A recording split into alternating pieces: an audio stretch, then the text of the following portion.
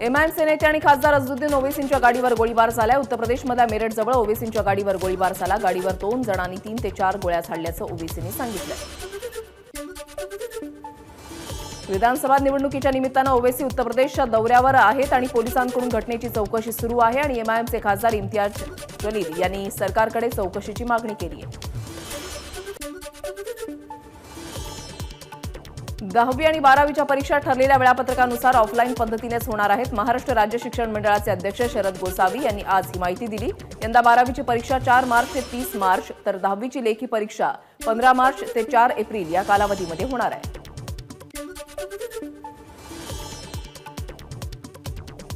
कोरोनाचा धोका लक्षात घेऊन यंदा शाळा तिथे परीक्षा केंद्राची सोय करण्यात येणार आहे. तर पंधरापेक्षा कमी विद्यार्थी असल्यास जवळच्या उपकेंद्रामध्ये परीक्षा देण्याची सोय करण्यात येणार आहे.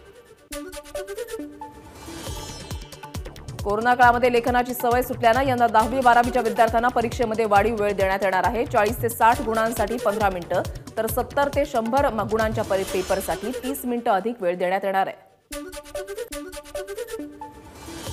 दहावी आणि बारावीच्या परीक्षेसाठी यंदा बाहेरील शिक्षकांना परीक्षक म्हणून नेमणार नसल्याचं बोर्डाकडून सांगण्यात आलंय. त्याऐवजी शाळेमधील शिक्षकच परीक्षक म्हणून काम करणार असल्याचं बोर्डानं सांगितलंय. विद्यार्थ्यांच्या सोयीसाठी प्रत्येक केंद्रावर आरोग्य सुविधा पुरवण्यात येणार आहेत. तर परीक्षेसाठी एका वर्गामध्ये जास्तीत जास्त पंचवीस विद्यार्थी बसणं बंधनकारक असणार आहे. यासोबतच सोशल डिस्टन्सिंगसाठी विद्यार्थ्यांना झिगझॅग पद्धतीनं बसवण्यात येणार आहे.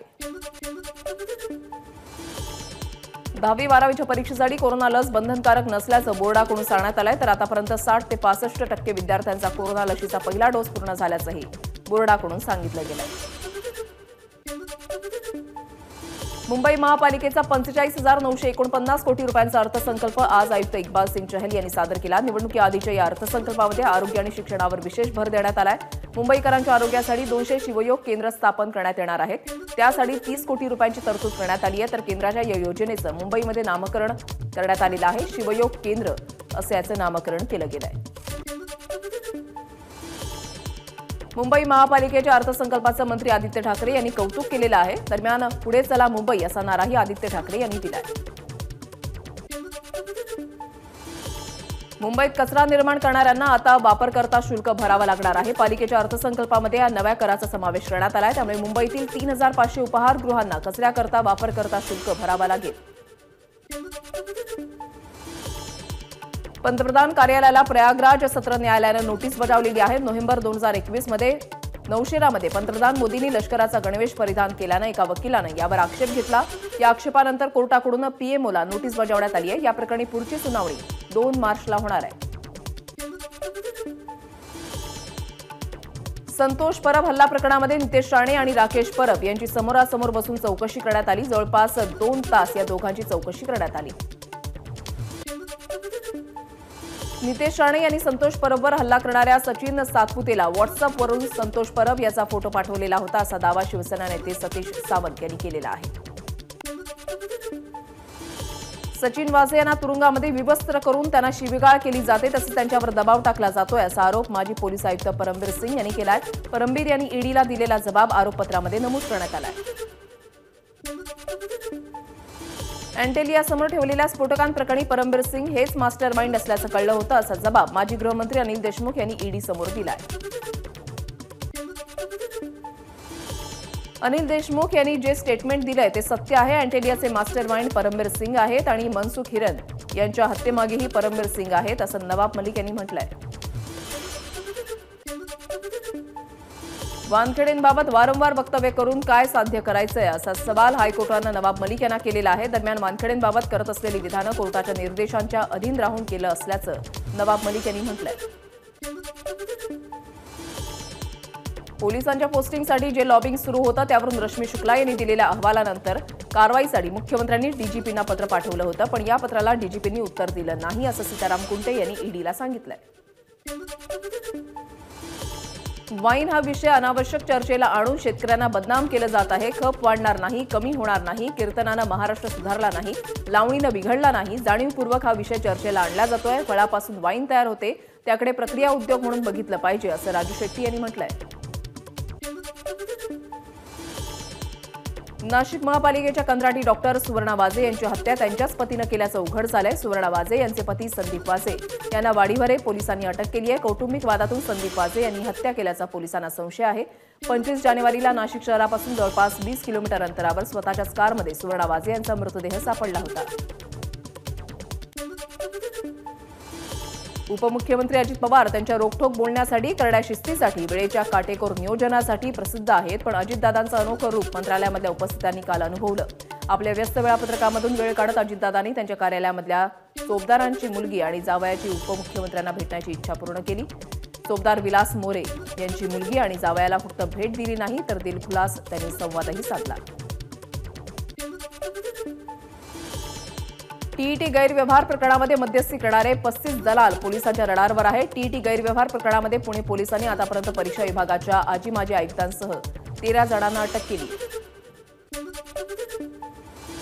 पुण्यामधील बाबा भिडे पूल पाडला जाणार आहे. महापालिकेच्या वतीनं मुळामुठा नदी सुधार प्रकल्प राबवण्यात येणार आहे. या अंतर्गत डेक्कन परिसरामधल्या बाबा भिडे पूल पाडून नवीन उंचीचा पूल बांधण्यात येणार आहे.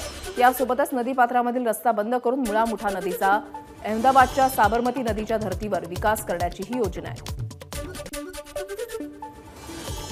पुणे महानगरपालिकेच्या महानगर परिवहन महामंडळामधील शेकडो कर्मचारी आज रस्त्यावर उतरलेले आहेत. सातवा वेतन आयोग आणि इतर विविध मागण्यांसाठी या कर्मचाऱ्यांनी पुणे महापालिकेसमोर आंदोलन सुरू केलं आहे अमरावती जिल्ह्यामधल्या सावंगी मगरापूर गावामध्ये मागासवर्गीय समाजामधील अनेकांनी गाव सोडलंय. त्यांच्या प्रभागामध्ये गेल्या अठ्ठावीस दिवसांपासून ग्रामपंचायतीनं पाणीपुरवठा केला नाही असा त्यांचा आरोप आहे. गावाबाहेरच्या विहिरीजवळ या नागरिकांनी ठाण मांडलेला आहे.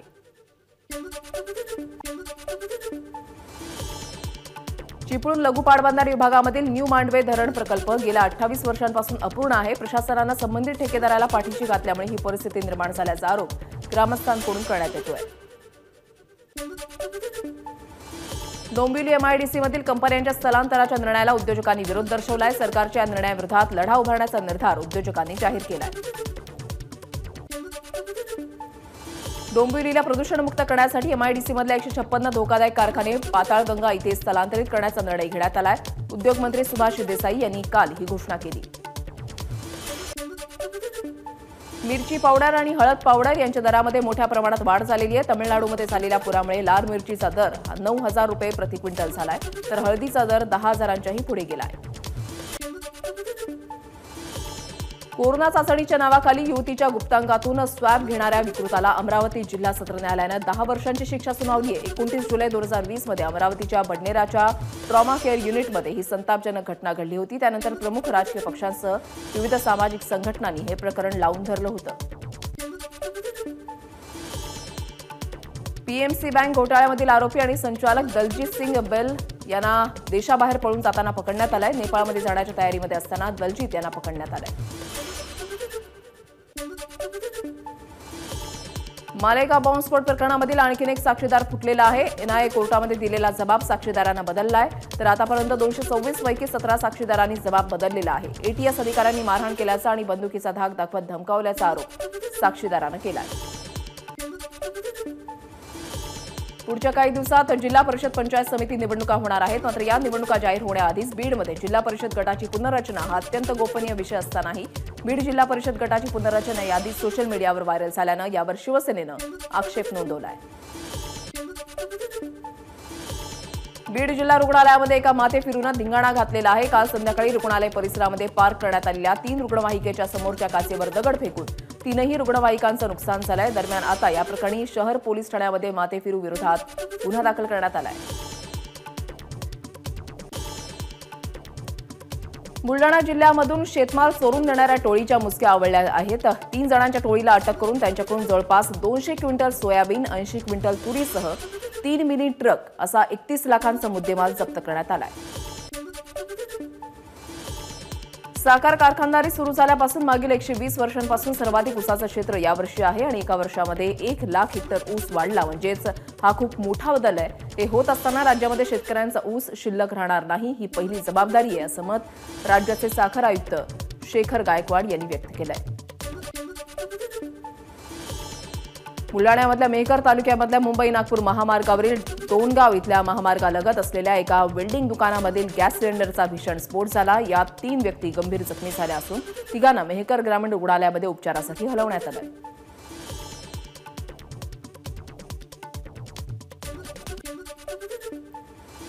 पतंगाच्या मांजामध्ये अडकलेल्या घारीची सुटका करण्यात आलेली आहे. अग्निशमन विभागानं तब्बल चार तासांच्या अथक प्रयत्नानंतर ही सुटका केली. कल्याण पूर्वमधल्या ड प्रभाग कार्यालयाजवळच्या मुख्य चौकामध्ये आज सकाळी हा प्रकार घडला.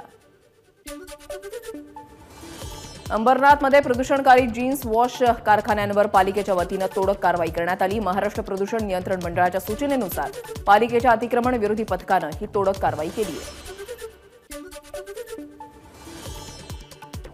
चंद्रपुरातील ताडोबा अंधारी व्याघ्र प्रकल्पाच्या बफर क्षेत्रामध्ये वाघाच्या हल्ल्यामध्ये ग्रामस्थाचा मृत्यू झालाय.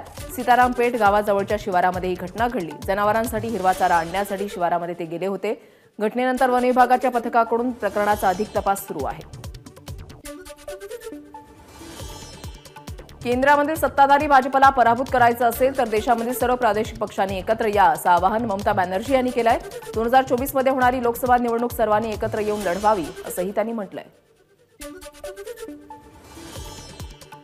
देशातला शेतकरी दुःखी आहे कारण केंद्रीय अर्थसंकल्पामध्ये त्यांच्यासोबत धोका झालाय असा आरोप समाजवादी पक्षाचे अध्यक्ष अखिलेश यादव यांनी केलाय. जर हा अर्थसंकल्प अमृत अर्थसंकल्प आहे तर मग आधीचे अर्थसंकल्प हे विष होते का असा सवालही त्यांनी केलाय. शनिवारी पाच तारखेला पंतप्रधान मोदी हैदराबाद दौऱ्यावर असणार आहेत आणि या दौऱ्यामध्ये आंतरराष्ट्रीय शेती संस्था इक्रीसॅटला ते भेट देणार आहेत.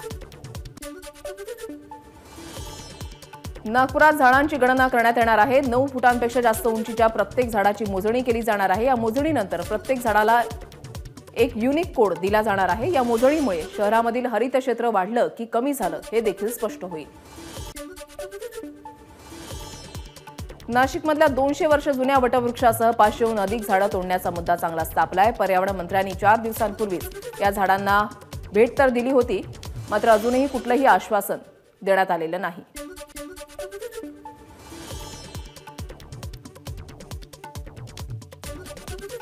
पुण्याच्या मध्यभागामधून वाहणाऱ्या या नदीला इकडचं फ्लोटिंग बेड प्रदूषण टाळण्यासाठी फ्लोटिंग बेड जे आहे ते या ठिकाणी निर्माण करण्यात आलेलं आहे.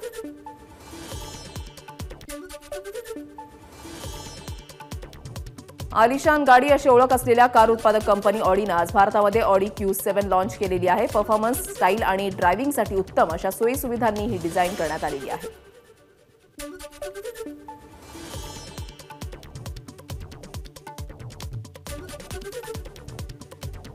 बिग बी अमिताभ बच्चन यांच्या चाहत्यांसाठी एक महत्वाची बातमी आहे. बिग बींच्या सोपान बंगल्याची आता विक्री केली जाणार आहे.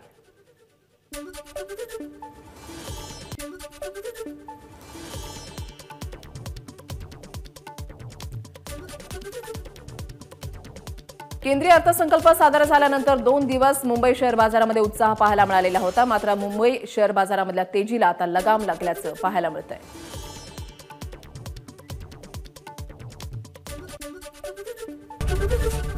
एबीपी माझा. उघडा डोळे बघा नीट.